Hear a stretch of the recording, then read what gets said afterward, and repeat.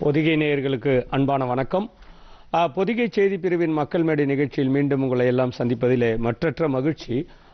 இன்றைக்கு மக்கள் மேடை நிகழ்ச்சியில் கடந்த வாரத்திலிருந்து ஒரு தலைப்பை நம்ம கொடுத்துருக்கோம். சும்மா வரவில்லை சுதந்திரம். நாம் பெற்ற இந்த சுதந்திரம் நாம் சுவாசிக்கின்ற இந்த சுதந்திர காற்று அவ்வளவு எளிதாக நமக்கு கிடைத்து விடவில்லை. இன்றைக்கு நம்ம வந்து ரொம்ப வசதியாகவும் ரொம்ப சுலமாக இப்போ பேசிகிட்டு இருக்கோம் ரொம்ப நிம்மதியாக பேசிகிட்டு இருக்கோம்னு சொன்னால் அப்படிப்பட்ட ஒரு சுதந்திர இந்தியாவில் நம்ம வாழ்கின்ற சூழலை உருவானது வந்து சாதாரணமாக ஒரு இரவில் கிடைத்து விடவில்லை. பல்வேறு வீரர்கள் பல தியாகங்களை செய்து பல தலைவர்கள் கிட்டத்தட்ட ஒரு முன்னூறு ஆண்டு கால வரலாறு இது. முந்நூறு முன்னூறு ஆண்டு காலம் நமக்கு தெரிந்த தலைவர்கள் சில பேர் ஆனால் தெரியாத தலைவர்கள் தெரியாத தியாகிகள் தெரியாத வீரர்கள் இந்த நாட்டுக்காக சுதந்திரத்துக்காக போராடி இருக்கிறார்கள் என்பதற்கான அதன் அடிப்படையை கொண்டு தான் நடக்கின்ற இந்த நிகழ்ச்சி. அதுக்காக சும்மா வரவில்லை சுதந்திரம்.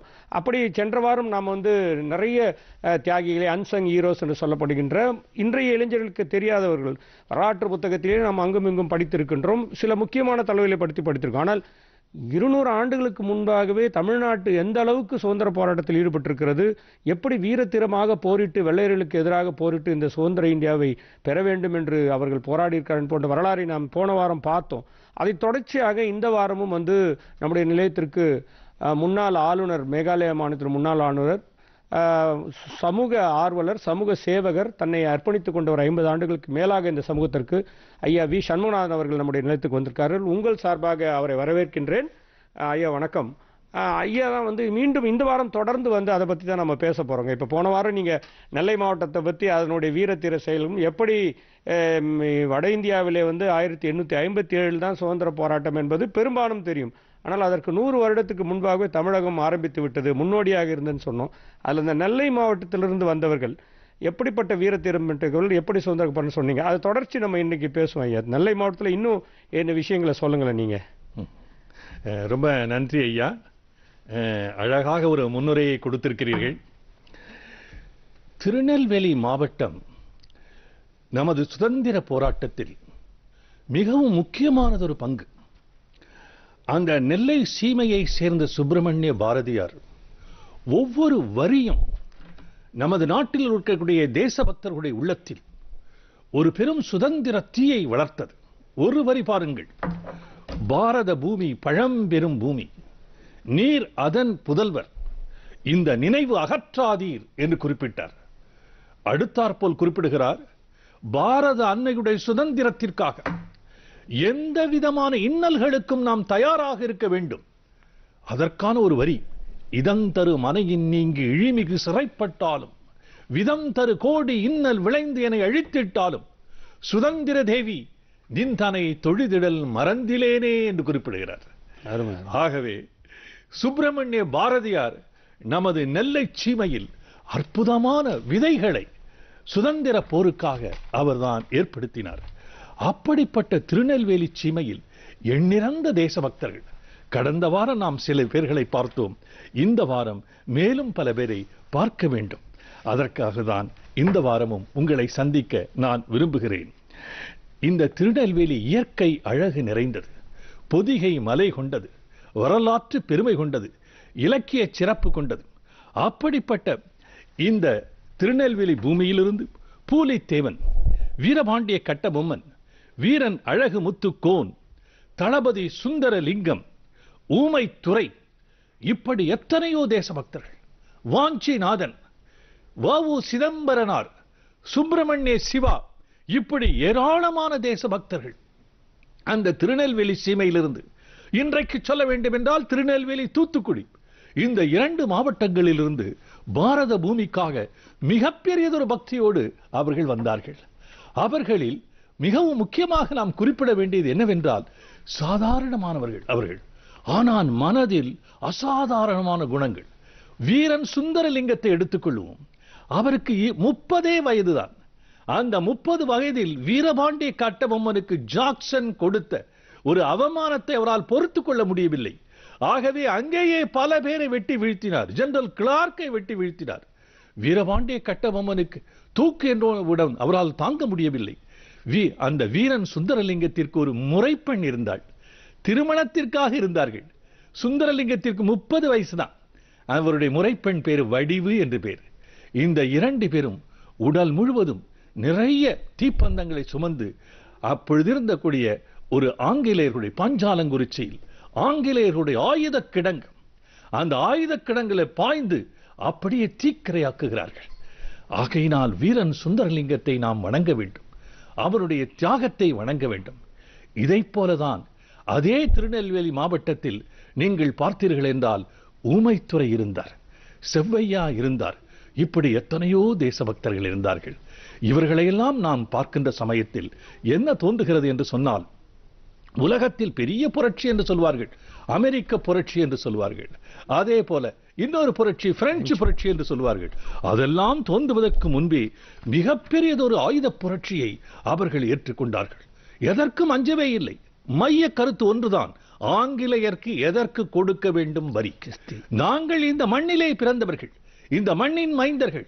ஆங்கிலேயர்களை ஏற்றுக்கொள்ள மாட்டோம் என்கிற உணர்வோடு அவர்கள் போரிட்டார்கள். ஒருவரா இருவரா? இது திருநெல்வேலி சீமையில் மட்டுமல்ல. அருகில் இருக்கக்கூடிய ராமநாதபுரம். அந்த ராமநாதபுரத்தில் வீரம் இருக்கிறதே. அது கொழுந்து விட்டு எரிந்தது. அவர்களுடைய வாழ்க்கை வரலாறு. அதை படித்தோம் என்றால் ஆயிரத்தி எண்ணூத்தி ஐம்பத்தி ஏழுக்கு நூறு ஆண்டுகளுக்கு முன்பே அவர்கள் மிக பிரம்மாண்டமான தியாகத்தை செய்திருக்கிறார்கள். பாருங்கள் ஆண்டை. ஆயிரத்தி எழுநூத்தி ஐம்பத்தஞ்சில் மாவீரன் புலி புலித்தேவன் என்றால் ஆயிரத்தி எழுநூத்தி எழுபத்தி ரெண்டில் முத்து வடுகநாதன். வீரமங்கை வேலு நாச்சியார் ஆயிரத்தி எழுநூத்தி எழுபத்தி ரெண்டு ஆயிரத்தி எழுநூத்தி தொண்ணூத்தி அஞ்சில் முத்து ராமலிங்க சேதுபதி ஆயிரத்தி எழுநூத்தி தொண்ணூத்தி ஒன்பதில் வீரபாண்டிய கட்டபொம்மன் ஆயிரத்தி எண்ணூத்தி ஒன்றில் ஊமைத்துறை அதே போல ஆயிரத்தி எண்ணூத்தி ஒன்றில் மருதுபாண்டியர் வேலூர் புரட்சி ஆயிரத்தி எண்ணூத்தி ஆறு தீரன் சின்னமலை இப்படி நூறு ஆண்டுகளுக்கு முன்னே தமிழ்நாட்டில் அவ்வளவு பெரியதொரு வீரம் இங்கே விளைந்திருக்கிறது.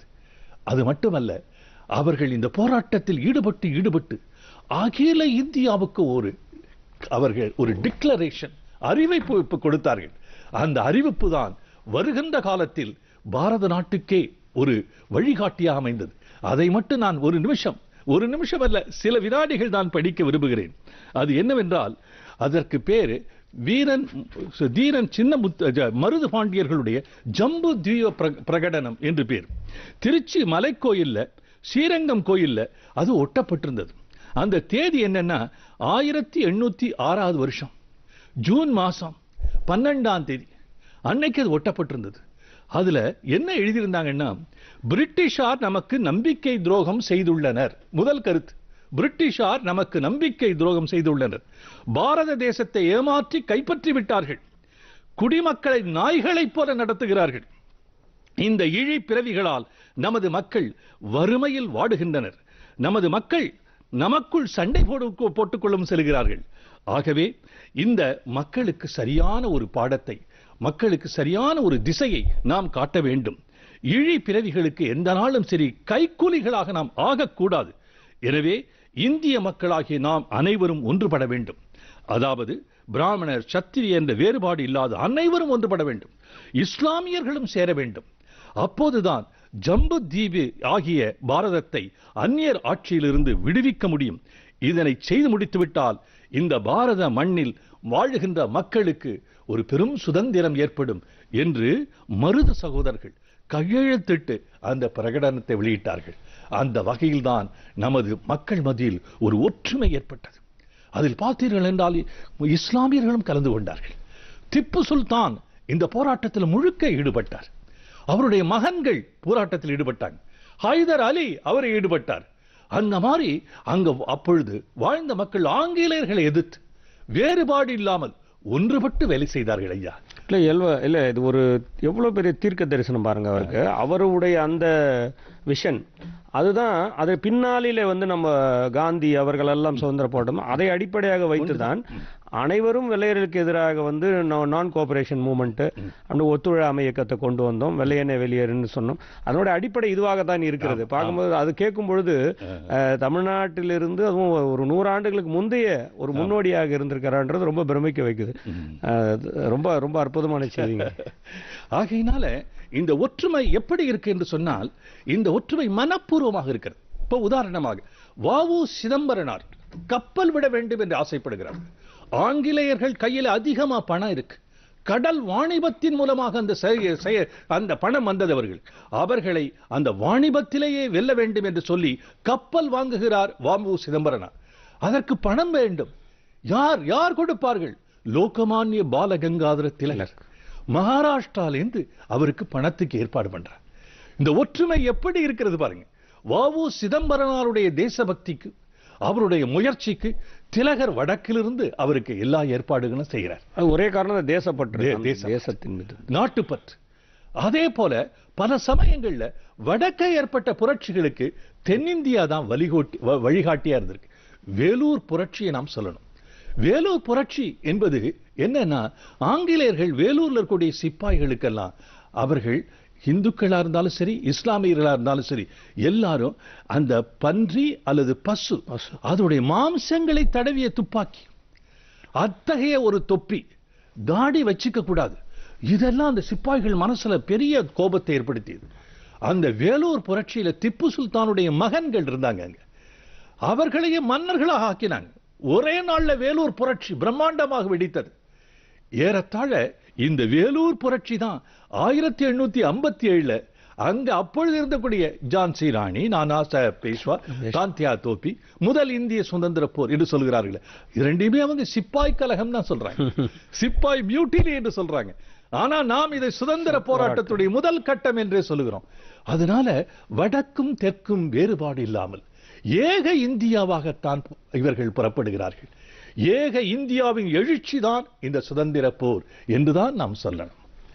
கப்பலோட்டிய தமிழனுக்காக வடக்கிலிருந்து மேற்கிலிருந்து சொல்லலாம். பாலகங்கா மராத் மகாராஷ்டிராவிலிருந்து உதவி பண்றது சோ இப்படி அதாவது அந்த ஒரு லிங்க் அந்த அந்த நூல் வந்து இணைத்தது வந்து இந்த தேசபக்தி நாட்டுப்பற்று. இதுதான் அவங்களுடைய மெயின் வேற எந்த ஒரு செக்யூரிட்டியோ எந்த இதுவும் கிடையாது. நம்பிக்கையும் கிடையாது. இதுதான் ஒரே அவரும் ஒரு தேசபக்தன் நாமும் ஒரு தேசபக்தன். அது குறிப்பா எதிரி ஒருவன் தான். ஆமா. வெள்ளையன். அவனை எதிர்த்து போறவன். இதுதான் அந்த ஒரு தாற்பயம். ஆமா. எதிரி போராடணும் தாய் மண்ணை விடுவிக்க விடுவிக்கணும். அந்த போராட்டத்துல இரண்டு பேரும் இணைந்தே தான் செய்தார்கள். கண்டிப்பா. அதனால வஉசி ஒரு நினைத்தார்னா திலகர் அதற்காக செயல்பட்டார்.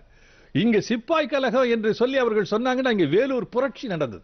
அதை வச்சே அவர்கள் மீரட்டில் மிகப்பெரிய ஒரு போராட்டத்தை நடத்தினாங்க.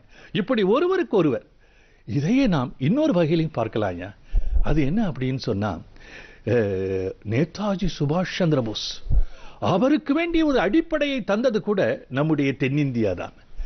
எப்படின்னா திருவனந்தபுரத்தில் ஒரு சின்னசாமின்னு இருந்தார். அந்த அவருக்கும் நாகம்மாள் என்கின்ற அம்மாவுக்கும் பிறந்த மகன் தான் செண்பகராமன். செண்பகராமன் அந்த செண்பகராமன் பள்ளி படிப்பு படித்துக்கிட்டு இருக்கிற சமயத்திலேயே அவருடைய ஊர்ல இருக்கக்கூடிய நதியின் கரையில வாலிபர்கள் எல்லாம் சந்திப்பார்கள் மாலை நேரத்துல. அந்த சமயத்துல படிப்பாங்க. என்ன படிப்பாங்க என்று சொன்னால் அவர்கள் சுதந்திரம் எனது பிறப்புரிமை என்று சொன்னாரு திலகர். அதை அடைந்தே தீர்வோம் என்னாரு. அதை அடையணும்னா நாம் பாரத மாதா வாலிபர் சங்கம் என்று ஒன்றை உருவாக்க வேண்டும் என்றார் செண்பகராமன். ஒருவரும் இருவரும் சந்திக்கிற சமயத்துல நமக்கு என்ன அடையாளம்? பாரத மாதா வாலிபர் சங்கம் ஆங்கிலேயர்களுக்கு போது நாம் பேச வேண்டும். என்ன சொல்லி பேச வேண்டும் என்று சொன்னால் ஜெய் ஹிந்த் என்று சொல்லணும். இந்த இந்துஸ்தானம் ஜெயிக்க போகிறது. இது தோக்காது. ஜெய் ஹிந்த் என்று சொல்ல வேண்டும். என்று செண்பகராமன் சிறு வயது பத்து வயசுலயே அப்ப பேச ஆரம்பிக்கிறார். அப்புறம் அவர் படிக்கிறதுக்காக ஜெர்மனிக்கு போறார். ஜெர்மனியில போய் டாக்டரேட் படிக்கிறார். இன்ஜினியரிங்ல டாக்டரேட். அப்படி படிக்கிற சமயத்துல தான் ஒரு பெரும் வீரரை சந்திக்கிறார். சுதந்திர போராட்ட வீரர் அவர் லாலா ஹர்தயால்னு பேர். அந்த லாலா ஹர்தயால் இவரை மேடம் காமா டாஷ் போறாங்க மேடம் காமா ஒரு பெரிய புரட்சி வீரர். பெர்லின்ல சந்திக்கிறார். வீர சாவர்கரை சிறை வைத்திருக்கிறார்கள். அந்தமானில் சிறை வைத்திருக்கிறார்கள். இரண்டு ஆயுள் தண்டனை கொடுத்திருக்கிறார்கள். அப்படிப்பட்ட சாவர்கரை விடுவிப்பதற்காக நாம் போராட வேண்டும் என்று மேடம் காமா சொல்லுகிறாங்க அதெல்லாம் செண்பகராமன் மனசுல மிகப்பெரிய வேகத்தை ஏற்படுத்தது. அதன் பிறகு லாலா ஹிருதாய் ஹிருதயால் செண்பகராமனை அங்க இருக்கக்கூடிய மன்னர் அழைச்சிட்டு போறார். மன்னரின் பெயர் கெய்சர் என்று பெயர் அந்த கெய்சர் செண்பகராமனுடைய வீரத்தையும் அறிவையும் பார்த்துவிட்டு தன்னையோடையே வைத்துக் கொள்கிறார். தன்னுடைய ராணுவத்தை பற்றி எல்லா விஷயங்களும் சொல்லுகிறார். முதல் உலக பெரும்போர் நடக்கிறது. அப்போ ஒரு பெரிய ஜெர்மானிய கப்பல் நீர்மூழ்கிய கப்பல் அது. அதுல இந்த செண்பகராமன் அவர்களை அமர வைத்து ஆங்கிலேயனை கடலிலேயே சந்தி என்று அனுப்புகிறார். அந்த கப்பலுக்கு பேர் எம்டன் என்று பேர். இன்றைக்கு கூட சென்னையிலே யாராவது வீர தீர செயல்கள் செய்தால் எம்டன் என்று சொல்லுவார்கள். அப்படிதானே ஐயா? பெரிய எம்டன் இதையா நீ பெரிய எம்டனா என்று சொல்வார்கள் அந்த செண்பகராமன் தான் அந்த எம்டன். அந்த கப்பலை எடுத்துக்கொண்டு கடல் ராணி என்று வர்ணிக்கப்பட்ட இங்கிலாந்துடைய கடற்படையை கப் அந்த கடலிலே அழித்தார். அப்படியே வந்து சென்னை செயின்ட் ஜார்ஜ் கோட்டை இருக்க. இதுல தான் ஆங்கிலேயர்கள் அநியமா அநியாயம் பண்றாங்க. இந்த செயின்ட் ஜார்ஜ் கோட்டையில் இருக்கக்கூடிய ஆங்கிலேயர்கள் தானே வீரபாண்டிய கட்டபொம்மனை தூக்கிலிட்டாங்க. அந்த செயின்ட் ஜார்ஜ் கோட்டை மேல ஒரு பாம்பு போடுனாரு. மக்கள் சாகக்கூடாது. ஆனால் ஜார்ஜ் கோட்டை தான் உடையணும் என்று சொல்லி செண்பகராமன் மிகப்பெரிய வீரத்தோடு செயல்பட்டார். அதை பார்த்துவிட்டு கெய்சர் என்ன பண்ணார்? ஒரு பெரும் பாராட்டு விழாவை பெர்லின்ல நடத்தினார். அப்பொழுது பரிசுகள் கொடுத்தார். செண்பகராமன் சொன்னார் எனக்கு தயவு செய்து பரிசுகள் வேண்டாம். நான் உங்களோடு வந்து ஆங்கிலேயனை அழித்தேன் என்றால் கடலிலே ஆங்கிலேயனுடைய ஆணவத்தை அடக்கினேன் என்றால் அதற்கு என்ன காரணம் என்றால் என்னுடைய தாய்நாடு தேசபக்தி. என்னுடைய பாரதம் ஏக இந்தியாவும் விடுதலையாக வேண்டும். அதற்காகத்தான் என்று செண்பகராமன் கெய்சருக்கு சொல்றார். இந்த செண்பகராமன் சாதாரண ஆள் கிடையாது. அதன் பிறகு அவர் என்ன பண்றாருன்னா அதே மே மேலை நாடுகளில் ஒரு காபூல்ல ஒரு மன்னரை சந்திக்கிறார். அவர் இந்திய மன்னர் மகேந்திர பிரதாப சிம்மன்னு பேர்.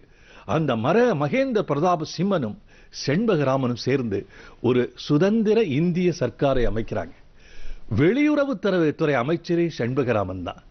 அதன் பிறகு அவர்கள் முதல் முறையா ஒரு வாலண்டியர்ஸ் ஃபோர்ஸ் உருவாக்குறாங்க. இந்திய தேசிய மாணவர் படை தொண்டர் படை என்ற ஒன்றை உருவாக்குறாங்க. இதெல்லாம் அவர் உருவாக்கி செண்பகராமன் வேலை செய்து கொண்டே இருக்கிற சமயத்துல சுவிட்சர்லாந்துல வியன்னா வியன்னா வியன்னா. அங்க நேதாஜி சுபாஷ் சந்திர போஸ் வரார். அப்ப நம்முடைய செண்பகராமன் அங்க போய் நேதாஜியை சந்திக்கிறார். சந்திக்கும் போது ஜெய் ஹிந்த் அப்படிங்கிறார். அதை கேட்ட உடனே நேதாஜிக்குள்ள ஒரு பெரிய கிளர்ச்சி ஏற்படுகிறது மனசுக்குள்ள. ஒரு பூரிப்பு ஏற்படுகிறது மகிழ்ச்சி ஏற்படுகிறது. ஆகா இதுதான் சரியான சரியான கோஷம் என்று அரவணைத்துக் கொள்கிறார். அதன் பிறகு இந்திய சுதந்திர சர்க்கார் எப்படி அமைத்திருக்கிறேன்? இந்திய மாணவர் படையை தொண்டர் படையை ஒரு பெரிய போராட்டத்திற்காக தயார் செய்து கொண்டிருக்கிறேன். அது டெல்லிக்கு விரைய வேண்டும் என்று ஆசையோடு இருக்கிறேன். இதையெல்லாம் அவர் நேதாஜி சொல்றார். அதனால இதுல முக்கியமான கருத்து என்னன்னா எவ்வாறு வாவு சிதம்பரனாருக்கு கப்பல் வாணிபம் செய்வதற்கு சாதாரண விஷயமா ஆங்கிலேயர்களை எதிர்த்து அவர்களே வாணிபம் செய்தவர்கள் அவர்களுக்கு போட்டியாக வாணிபம் செய்ய வாவு சிதம்பரனாருக்கு எப்படி திலகர் உதவி பண்ணாரோ அதே போல நேதாஜி சுபாஷ் சந்திர போஸுக்கு அற்புதமான கருத்துக்களை கொடுத்தவரே இந்த செண்பகராமன் தான். அவருடைய ஒரு மிகப்பெரிய போராட்டத்திற்கு ஒரு பெரிய கோஷம் ஜெய்ஹிந்த் இந்திய சுதந்திர சர்க்கார் அதே போல இந்தியன் நேஷனல் ஆர்மி ஐஎன்ஏ அவர் அமைக்க போறாரே அதற்கு முகாந்திரமாக இந்தியன் நேஷனல் வாலண்டியர்ஸ் ஆர்கனைசேஷன் இதையெல்லாம் ஏற்படுத்தியவர் செண்பகராமன் தான். அதனால செண்பகராமன் நேதாஜி சுபாஷ் சந்திர போஸுக்கு கருத்துக்களை கொடுத்த ஒரு தலைமகன்.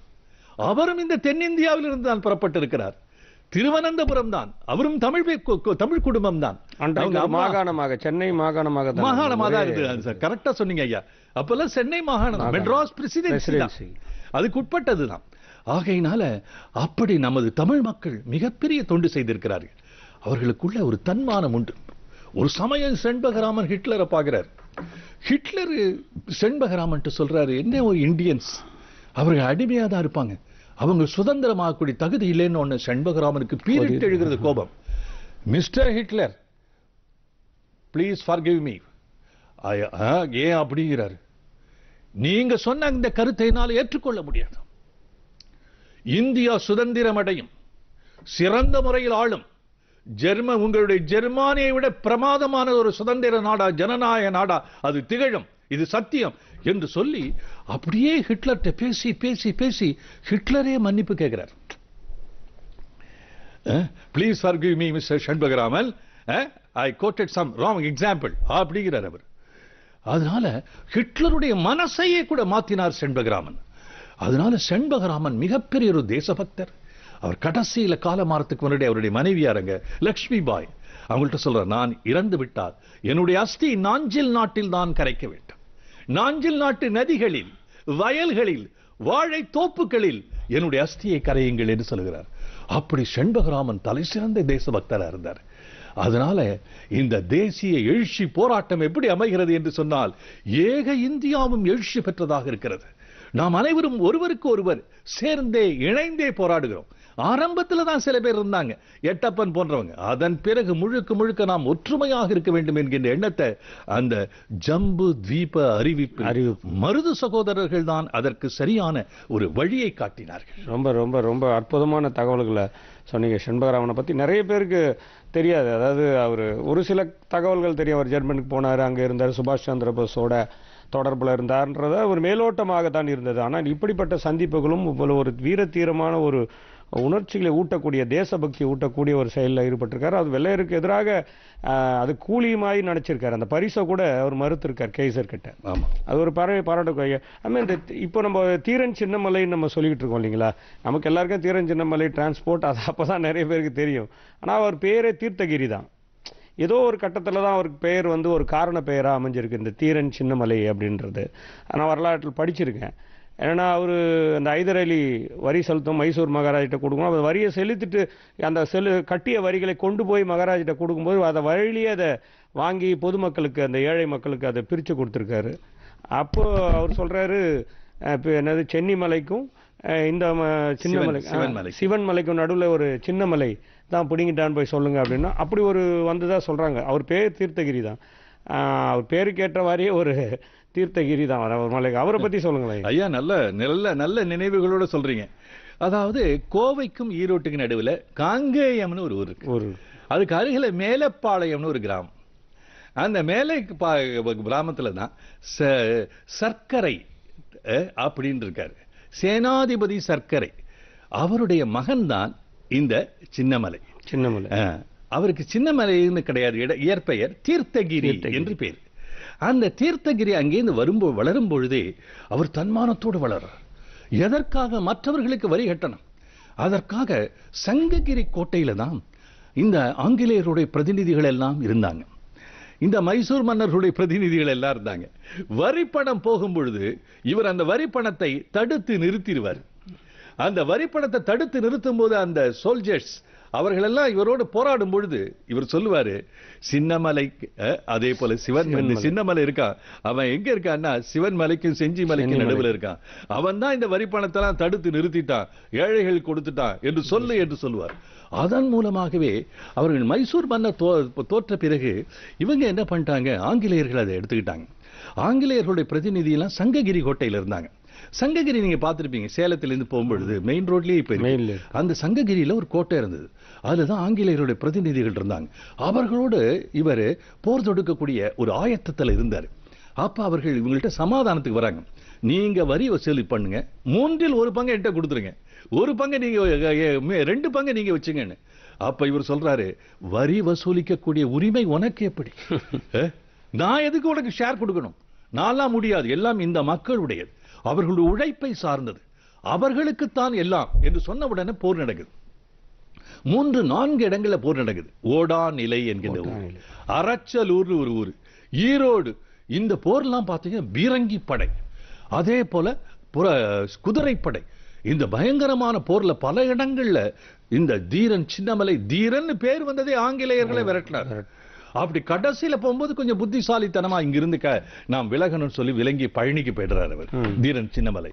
ஆகையினால தீரன் சின்னமலையுடைய ஒரு மன தைரியம் அவர் ஆங்கிலேயர்களுக்கு பெரிய சவாலாக இருந்தார். ஆனா அவரையும் தூக்கில போட்டு தூக்குல போட்டாங்க. அதனால. இந்த ஆங்கிலேயர்கள் மிகவும் கொடியவர்கள். கருப்ப சேர்வைகளுடன் தான் சேர்ந்து இவர் போரிட்டு தான் வரலாறு. அவரும் கூட பாருங்க நாற்பத்தி ஒன்பது வயசுக்குள்ள அவர் இந்த நாட்டுக்காக தன்னுடைய உயிரை நீத்திருக்கிறார். அவர் சின்ன வயசு தான் பாத்தீங்கன்னா எல்லாருமே அந்த வயதும் இந்த அவங்களுக்கு அந்த வயது ஒரு பொருட்டால வாழணுன்ற ஆசையில தேசபக்தி மட்டுமே அவங்களுக்கு மிஞ்சி இருக்கு நீங்க சொல்ற மாதிரி வெள்ளையர்களோட ஒரு உடன்பாடுக்கு கொண்டு வந்து அந்த வரியில இருந்து அவர் எடுத்திருக்கலாம். ஆனா பாருங்க அப்படி ஒரு வாய்ப்பு இருந்தும் கூட தேசபக்தி தான் அவருக்கு முதன்மையா இருந்திருக்கு. அன்றைக்கே அந்த சமூகம் சமத்துவமான ஒரு பாரதத்தை அவர் பார்க்க விரும்பியிருக்காரு. நீங்க சொன்ன மாதிரி மருது சகோதரர்கள் ஒரு டெக்ளரேஷன் பண்ண மாதிரி இவர் ஒரு சமத்துவ பாரதத்தை உருவாக்குவதற்கான அந்த எண்ணம். உருவாக்கிறார் அதே போல ஐயா நாம் இன்னொரு பேர் சொல்லணும். அது கோபால் நாயக்கர் பேர். அவரு பழனி திண்டுக்கல் விருப்பாச்சி மணப்பாறை இங்க இருக்கக்கூடிய மக்களை எல்லாம் சேர்த்து ஆங்கிலேயர்களை எதிர்த்தாரு. இந்த கோபால் நாயக்கர்.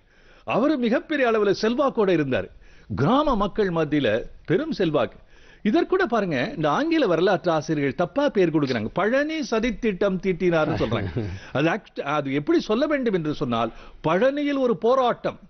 பழனியிலிருந்து ஒரு போராட்டத்தை ஆங்கிலேயர்களை எதிர்த்த சுதந்திர போராட்டத்தை. துவங்கினார் என்றுதான் சொல்லணும். அது சதி சதி செய்தவரெல்லாம் ஆங்கிலேயர்கள். ஆமா. இவர்தான் போராடினார். பழனி புரட்சின்னு தான் சொல்லணும். பழனி புரட்சின்னு சொல்லணும். சரியா சொன்னீங்க. பழனி சுதந்திர புரட்சி தான் சொல்லணும்.